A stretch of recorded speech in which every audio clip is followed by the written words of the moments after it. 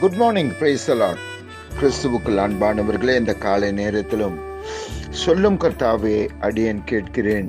தின தியான நிகழ்ச்சியின் மூலமாக உங்களோடு கூட நேரத்தை செலவிடுவதில் நான் மகிழ்ச்சி அடைகிறேன். இன்றைய தியானத்திற்காக யோவான் எழுதின சுவிசேஷம் பதினைந்தாம் அதிகாரம் பதினெட்டு மற்றும் பத்தொன்பது ஆகிய இரண்டு வசனங்களை நான் வாசிக்கிறேன். கவனமாய் கேளுங்கள். உலகம் உங்களை பகைத்தால் அது உங்களை பகைக்கிறதற்கு முன்னே என்னை பகைத்ததென்று அறியுங்கள். நீங்கள் உலகத்தாராய் இருந்தால் உலகம் தன்னுடையதை சிநேகித்திருக்கும். நீங்கள் உலகத்தாராய் இராதபடியினாலும் நான் உங்களை உலகத்திலிருந்து தெரிந்து கொண்டபடியினாலும் உலகம் உங்களை பகைக்கிறது. இருபதாம் வசனத்தையும் வாசித்து விடுகிறேன். ஊழியக்காரன் தன் எஜமானிலும் பெரியவனல்லவென்று நான் உங்களுக்கு சொன்ன வார்த்தைகளை நினைத்து கொள்ளுங்கள். அவர்கள் என்னை துன்பப்படுத்தினது உண்டானால் உங்களையும் துன்பப்படுத்துவார்கள்.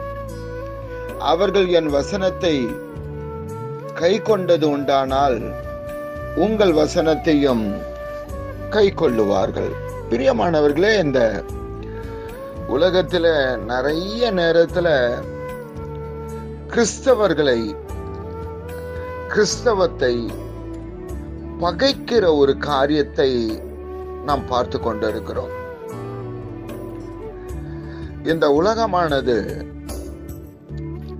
கிறிஸ்தவர்களை குறிவைத்து தாக்குகிற குறிவைத்து கிறிஸ்தவத்தை கிறிஸ்தவ மக்களை பகைக்கிறதான ஒரு நிலைமையிலே தான் நாம் வாழ்ந்து கொண்டிருக்கிறோம். ஆண்டவராகிய இயேசு கிறிஸ்து ரொம்ப அழகா சொல்லிட்டார். நீங்க உலகத்தாரா இருந்தா உங்களை உலகம் என்ன பண்ணும்? சிநேகித்திருக்கும். நீங்க உலகத்தார் அல்ல உங்களை உலகத்திலிருந்து நான் வேறு விரித்து விட்டேன். ஆகவே உலகம் உங்களை பகைக்கிறது. இதை குறித்து நீங்க வேதனைப்பட வேண்டாம். இதை குறித்து நீங்க சோர்ந்து போக வேண்டாம். ஒரு காரியத்தை நினைத்துக் கொள்ளுங்கள் என்று சொல்லுகிறார். அது உங்களை பகைக்கிறதற்கு முன்பதாக என்னை பகைத்து இருக்கிறது என்று சொல்லுகிறார். ஆம் பிரியமானவர்களே இயேசு என்றைக்கு இந்த பூமியிலே இந்த உலகத்திலே ரட்சகராக அவர் பிறந்தாரோ அந்த நாளிலிருந்து இந்த உலகம் அவரை இன்றைக்கு வரைக்கும் பகைத்து கொண்டு தான் இருக்கிறது. அவருடைய வார்த்தைகளை பகைக்கிறது. அவருடைய அன்பை பகைக்கிறது. அவருடைய போதனைகளை பகைத்து கொண்டு தான் இருக்கிறது. ஆகவே அவர் நம்மை தெரிந்தெடுத்தபடியினாலும் அவருடைய பிள்ளைகளாய் நாம் மாறிவிட்டபடியினாலும் இந்த உலகமானது அவரை பகைத்ததை போல நம்மையும் பகைக்கிறது.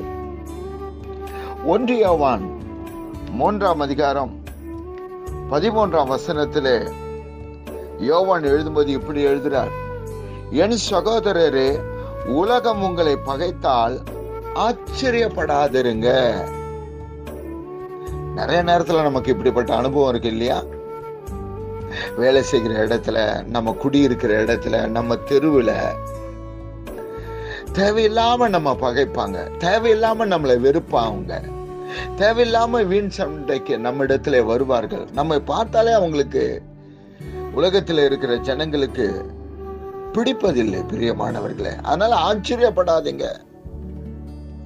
ஏற்கனவே இயேசு சொல்லி இருக்கிறார் இந்த உலகத்துல உங்களுக்கு என்ன இருக்கு? உபத்திரம் உண்டு. திடன் கொள்ளுங்கள். நான் உங் உலகத்தை என்ன பண்ணேன் ஜெயித்தேன் என்று சொல்லி இருக்கிறார் இந்த வசனத்தை அப்படியே வாசித்து கொண்டு இருக்கும்போது ஏன் இந்த உலகம் நம்மை பகைக்கிறது? ஏன் உலகத்தில் இருக்கிற ஜனங்கள் நம்மை வெறுக்கிறார்கள்? வேண்டாம் என்று ஒதுக்கி வைக்கிறார்கள் என்று பார்க்கும்பொழுது ஆதி அங்கமத்துக்கு இதுக்கு கொஞ்சம் நம்ம போகும்பொழுது இந்த பகை தேவனே உண்டாக்கி இருக்கிறார் உலகத்திற்கும் நமக்கும் பகையை உண்டாக்கினது யார் என்று பார்க்கும்போது வசனம் சொல்லுகிறது தேவனே உண்டாக்கி இருக்கிறார் ஆதியாகமம் மூன்றாம் அதிகாரம் பதினான்கு பதினைந்து வசனங்களை நான் வாசிக்கிறேன். அப்பொழுது தேவனாகிய கர்த்தர் சர்ப்பத்தை பார்த்து நீ இதை செய்தபடியால் சகல நாட்டு மிருகங்களிலும் சகல காட்டு மிருகங்களிலும் சபிக்கப்பட்டிருப்பாய். நீ உன் வயிற்றினால் நகர்ந்து உயிரோடு இருக்கும் நாளெல்லாம் மண்ணை தின்பாய். பதினைந்தாம் வசனம் உனக்கும் ஸ்திரீக்கும் உன் வித்துக்கும் அவள் வித்துக்கும் பகை உண்டாக்குவேன். இந்த இடத்துல நல்லா கவனிச்சிங்களா? உனக்கும் ஸ்ரீக்கும் உன் வித்துக்கும் அவள் வித்துக்கும் பகை உண்டாக்குவேன்.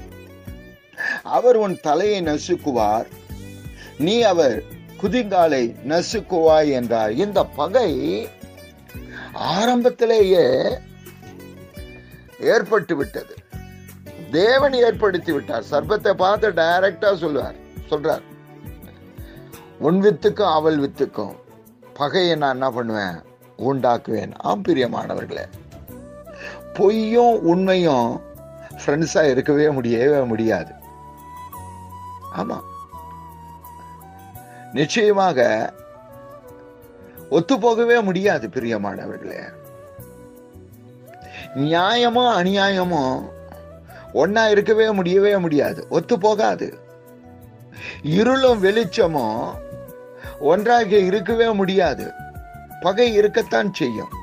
ஆகவே நாம் வெளிச்சத்தின் பிள்ளைகளாய் இருக்கிறபடியினாலே இருளில் இருக்கிற பிள்ளைகள் நம்மை பகைக்கத்தான் செய்வார்கள். ஒரு வேலை செய்யற இடத்துல நீங்க மாத்திரம் கிறிஸ்டினா இருந்து அங்க வேலை செய்கிற மற்றவர்கள் உலகத்தாரா இருக்கும்போது புற மதத்தாராய் இருக்கும் பொழுது அங்க எவ்வளவு நீங்க பாடுபடுவீர்கள் என்பது உங்களுக்கு நன்றாகவே தெரியும். ஒரு லைன் வீட்டில் குடியிருக்கிறீங்க. நீங்க மட்டும் தான் கிறிஸ்டினா இருக்கிறீங்க. மற்ற அஞ்சு ஆறு குடும்பம் கிறிஸ்டினா இல்லை. அவர்கள் மத்தியில் நீங்க எவ்வளவு பாடுபடுவீர்கள் என்பது உங்களுக்கு நன்றாக தெரியும். ஆகவே இதை குறித்து நாம ஆச்சரியப்படவே கூடாது. நாம் இந்த உலகத்தார் அல்லவே அல்ல. ஆகவே உலகம் நம்மை பகைக்கிறது. உலகம் நம்மை துன்பப்படுத்துகிறது பிரியமானவர்களே. கிறிஸ்தவம் தோன்றின அந்த நாள் முதற்கொண்டு இந்த நாள் வரைக்கும் இந்த உலகத்திற்கு கிறிஸ்தவம் தன்னுடைய அன்பை வெளிப்படுத்துகிறது. தன்னுடைய சேவையை வெளிப்படுத்துகிறது. ஆனால் இந்த உலகமோ இன்னும் கிறிஸ்தவத்தையும் கிறிஸ்தவர்களையும் இயேசு கிறிஸ்துவையும் பகைக்கிறவர்களாகவே இருக்கிறார்கள் பிரியமானவர்களே. கிரஹாம்ஸ்டெயின் என்ன செஞ்சார்? குஷ்டரோகிகள் மத்தியில பல வருடங்களாக ஆஸ்திரேலியாவில் சொகுசான வாழ்க்கையை வாழ்வதை விட்டுவிட்டு இந்தியாவில் ஒரிசாவில் ஒரு சின்ன குக்கிராமத்தில் வந்து வியாதியினால் பாதிக்கப்பட்டதான குடும்பத்தினால் வெறுக்கப்பட்டதான ஒதுக்கப்பட்டதான வேண்டாம் என்று தள்ளப்பட்டதான ஜனங்கள் மத்தியிலே அவர் சேவையை செய்து கொண்டிருந்தார். ஆனால் இந்த உலகம் பகைத்து அவரை அவருடைய பிள்ளைகள் உயிரோடு கூட எரித்தது.